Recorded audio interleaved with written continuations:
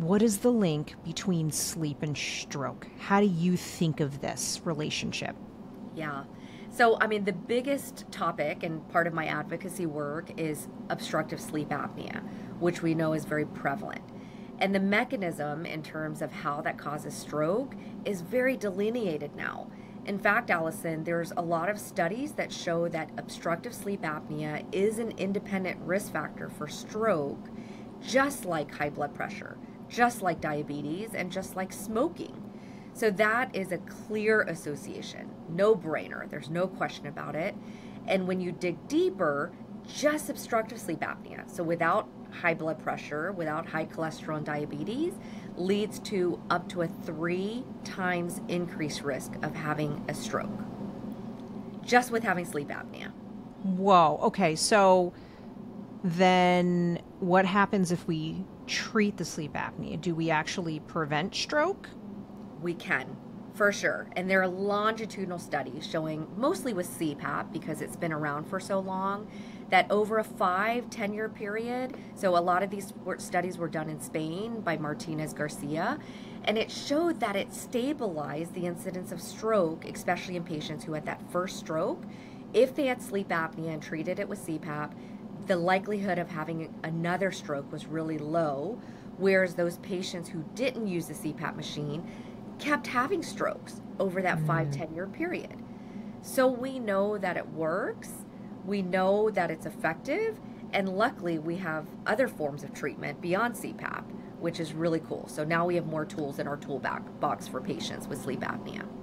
So I love something that you said, which is just how clear that data is for, I think, what we would call in the medical world a secondary prevention. You've had a stroke, we're now preventing it by getting you to actually be compliant with some therapy. So the best data I'm hearing from you is really on CPAP, which you know that's the machine for your breathing that a lot of people are you know now very accustomed and familiar with.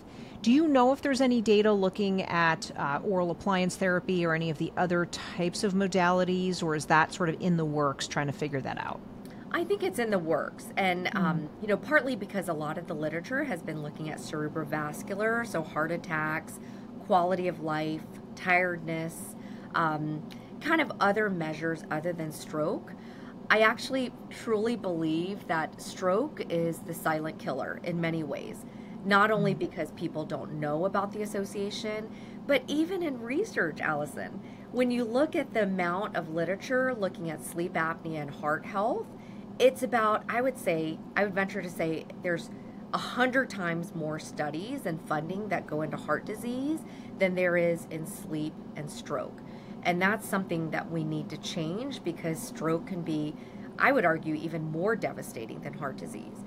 So, this is my, I hope you don't mind, but this is my compelling call to everyone out there to get the word out in terms of the need to do more research with the oral appliances, with the hypoglossal nerve stimulator, with weight loss, with the GLP 1s in stroke patients to see if it is as effective as CPAP and the onus is on me too and you dr Kole um, to, to think of these research studies and to get the word out and educate our patients.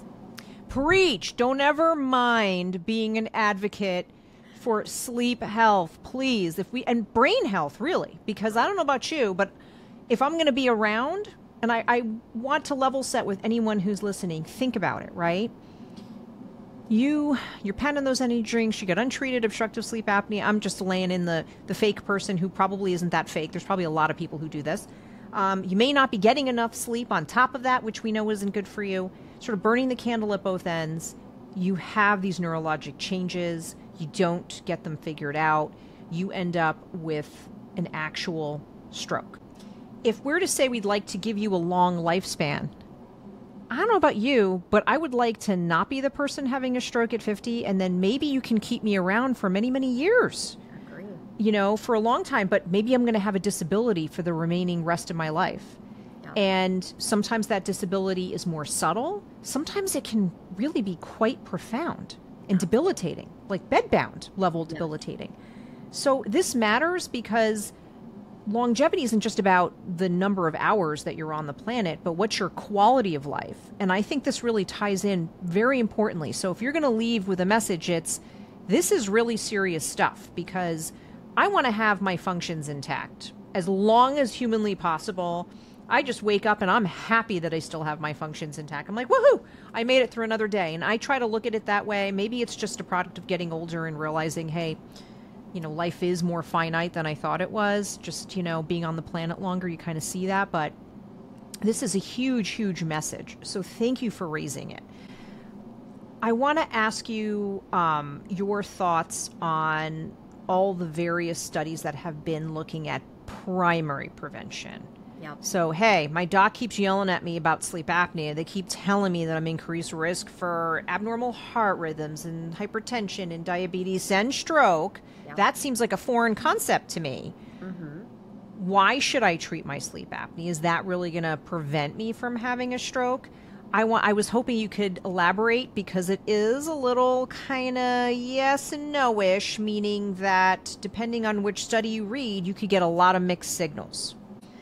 Yeah, I'm so glad you brought that up, Alison. Um, the earlier we start, the more likely we are going to be successful, especially with obstructive sleep apnea. So, in a very crude way, let me just explain what obstructive sleep apnea. And if I can share with you, I have obstructive sleep apnea. So, not, I not only What? it, I diagnosed it, but I lived it. I lived it, and I'm happy to share my own personal journey with obstructive sleep apnea. But it is suffocating your brain at night. We have kids, right? We have kids, whether you're six years old, 20 years old, 50, 70. When you think you're setting your head on your pillow at night to get a good night's rest, your your brain is not getting enough oxygen your heart your major organs and you are in fight or flight mode. And that's why when you wake up most people don't feel refreshed. They feel like they've only gotten two hours of sleep when they've really been in bed for eight hours.